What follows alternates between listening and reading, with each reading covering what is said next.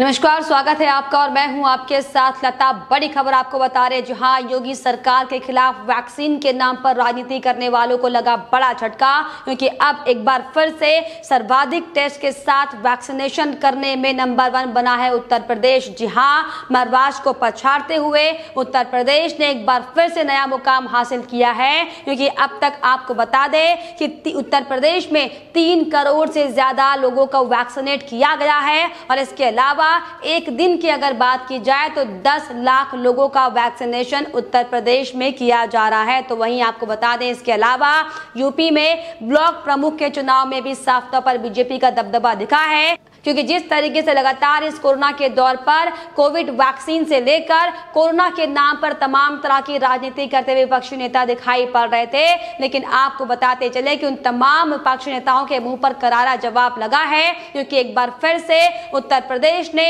महाराष्ट्र को पछाड़ते हुए एक नया मुकाम हासिल कर लिया है, जिसमें सबसे ज़्यादा जाँच और वैक्सीनेट करने वाला प्रदेश उत्तर प्रदेश बन गया है। जी हाँ और इसी कड़ी में अब तक उत्तर प्रदेश देश में तीन करोड़ अट्ठावन लाख से ज़्यादा लोगों को वैक्सीनेट किया गया है और यही बड़ी वजह है कि एक बार फिर से सर्वाधिक टेस्ट करने के साथ ही वैक्सीनेशन में देश में उत्तर प्रदेश सबसे पहला प्रदेश और नंबर वन पर आता हुआ दिखाई दिया है। जी हाँ आपको बताते चले कि एक दिन में दस लाख से ज़्यादा को लोगों को वैक्सीन लगाई जा रही है और इसी कड़ी में हालाँकि इकतीस अगस्त तक दस करोड़ लोगों को वैक्सीनेट करने का लक्ष्य रखा गया था। लेकिन जिस तरीके से एक दिन में 10 लाख लोगों को वैक्सीन लगाई जा रही है, साफ़ तौर पर कहा जा सकता है कि वाकई दुगनी और तिगुनी तेज़ी के साथ उत्तर प्रदेश में योगी सरकार के आदेशों का पालन किया जा रहा है और यही बड़ी वजह है कि लगातार अब विपक्षी के होश उड़ते दिखाई पड़ रहे हैं, क्योंकि जिस तरीके से लगातार विपक्ष के तमाम नेता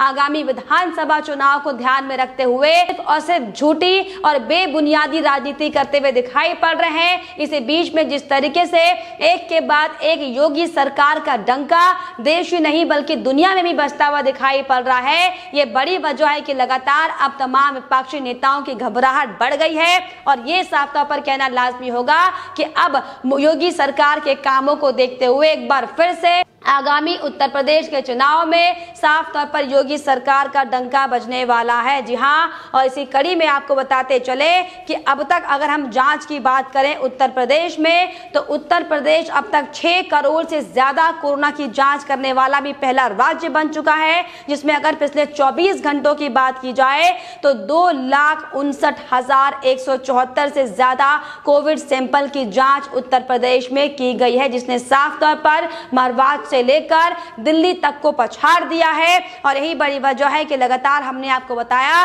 कि तमाम तरह की बयानबाजी योगी सरकार के खिलाफ की जा रही है। इसके अलावा आपको बता दें कि संक्रमण की नियंत्रण की स्थिति को लगातार बनाए रखने के लिए योगी सरकार की ओर से भी एग्रेसिव टेस्टिंग और वैक्सीनेशन के निर्देश अधिकारी को दिए गए हैं। और इसी कड़ी में अधिकारी दुगनी तेज़ी के साथ उत्तर प्रदेश में लोगों को वैक्सीनेट करने का काम कर रहे हैं। तो वहीं लगातार कोरोना के टेस्टिंग को भी टेस्टिंग में, को भी ध्यान में रखा गया है। जी हाँ इसी कड़ी में आपको बताते चले, अगर हम महाराष्ट्र की बात करें तो महाराष्ट्र में अब तक सिर्फ़ और तीन करोड़ छप्पन लाख के आसपास वैक्सीन लगाई गई है, जो कि अगर उत्तर प्रदेश के लिहाज से देखा जाए तो दो लाख से ज़्यादा का फ़र्क महाराष्ट्र और उत्तर प्रदेश में साफ़ तौर पर दिखाई पड़ रहा है। और यही बड़ी वजह है कि योगी सरकार के काम को लगातार सराहा जा रहा है, क्योंकि महाराष्ट्र में किस तरीके से लोगों की ज़िंदगी के साथ खिलवाड़ किया जा रहा है हम सबको पता है। वैक्सीन से लेकर तमाम बुनियादी सुविधाओं से लेकर किस तरीके से महाविकास अघाड़ी सरकार सिर्फ़ और सिर्फ़ धांधलेबाजी करती हुई दिखाई पड़ रही यही बड़ी वजह है कि उत्तर प्रदेश में वैक्सीनेट लगातार लोगों को किया जा रहा है और इसकी एक खास वजह यह भी बताई जा रही है कि आपको बता दें कि उत्तर प्रदेश में एक फ़ीसदी से कम वैक्सीन की बर्बादी की गई है, क्योंकि जिस तरीके से लगातार अलग अलग राज्यों में हम ये देख रहे थे, फिर चाहे वो पंजाब हो, फिर चाहे वो राजस्थान हो, किस तरीके से लगातार लोगों को लगाने वाली वैक्सीन को डस्टबिन में फेंका जा रहा था, गड्ढों में गाड़ा जा रहा था, लेकिन अगर उत्तर प्रदेश की बात की जाए तो मात्र एक फ़ीसदी से भी कम कोरोना वैक्सीन का वेस्टेज किया गया है। और यही बड़ी वजह है कि अधिक से अधिक ज़्यादा वैक्सीनेट लोग उत्तर प्रदेश में हुए हैं, जिसके चलते कोरोना पर नियंत्रण पाने में योगी सरकार साफ़ तौर पर कामयाब हुई है। लेकिन आपको बताते चले कि जिस तेज़ी के साथ योगी सरकार वैक्सीन लगाने का काम कर रही है, इसी कड़ी में अब जो ऐसे लोग जो वैक्सीन लगाने में असमर्थ हैं, दिव्यांग हैं या के कारण वो वैक्सीन सेंटर पे नहीं पहुँच पा रहे हैं। तो उनके लिए भी योगी सरकार की ओर से डोर टू डोर वैक्सीनेशन का शुभारंभ किया जाएगा, जिसको लेकर स्वास्थ्य विभाग की ओर से तमाम तरह की तैयारियाँ कर ली गई हैं, जिसको देखते हुए साफ़ तौर पर यह कहा जा सकता है कि योगी सरकार का ध्यान इस समय सिर्फ़ और सिर्फ़ लोगों को कोरोना से निजात दिलाने में है, जबकि दूसरी तमाम विपक्षी पार्टी किस तरीके से कोरोना के नाम पर, किस तरीके से अव्यवस्थाओं के नाम पर, किस तरीके से कानून व्यवस्था के नाम पर योगी सरकार को घेर पाए। इस तरह के तमाम इन्हीं चोटी के ज़ोर लगाते हुए हालाँकि दिखाई पड़े, लेकिन आपको बताते चले कि ये सिर्फ़ और सिर्फ़ योगी सरकार के अथक प्रयासों का ही परिणाम है कि अब उत्तर प्रदेश पूरे देश में नंबर वन बन गया है, जिसमें तीन करोड़ से ज़्यादा लोगों को वैक्सीनेट किया गया है। जी हाँ और यही बड़ी वजह है कि अब लगातार विपक्षी नेता बौखलाते हुए और घबराते हुए दिखाई पड़ रहे हैं। हालाँकि आपको बता दें कि विपक्षों की बौखलाहट का कारण एक और है, क्योंकि जिस तरीके से अभी हाल ही में उत्तर प्रदेश में जिला पंचायत अध्यक्ष के चुनाव हुए थे, जिस तरीके से बीजेपी ने किस तरीके से अपना परचम लहराया था, हम सबने देखा था। और इसी कड़ी में अगर हम बात अभी हाल ही में जो चल रहे हैं ब्लॉक प्रमुख के चुनाव, उनकी करें तो ब्लॉक प्रमुख के चुनाव में भी साफ़ तौर पर बीजेपी अपना परचम लहराती हुई दिखाई पड़ रही है। जी हाँ और वो इसलिए क्योंकि विपक्षियों के पास ना ही गाँव के लिए कोई बड़ा चेहरा है, और ना ही कोई बड़े चुनाव के लिए बड़ा चेहरा और यही दरअसल बड़ी वजह है कि लगातार अखिलेश यादव से लेकर राहुल गांधी तमाम तरह की बयानबाजी कर रहे हैं। हालाँकि चुनाव में प्रदर्शन की बात करें तो फिर चाहे वो विधानसभा चुनाव पिछले बार का हो या फिर अभी हाल ही में जो विधानसभा चुनाव के सेमीफाइनल जिसे कहते हैं, वो जिला पंचायत अध्यक्ष का चुनाव हो, उसमें भी किस तरीके से सपा पार्टी ने मुँह की खाई हम सबने देखा था। और इसी कड़ी में अब जिस तरीके से ब्लॉक प्रमुख के चुनाव में साफ़ तौर पर बीजेपी का दबदबा देखा गया है ये साफ़ तौर पर इशारा करता है कि आगामी उत्तर प्रदेश में जो चुनाव होने वाले हैं 2022 में, वो सिर्फ़ और सिर्फ़ बीजेपी के पक्ष में है।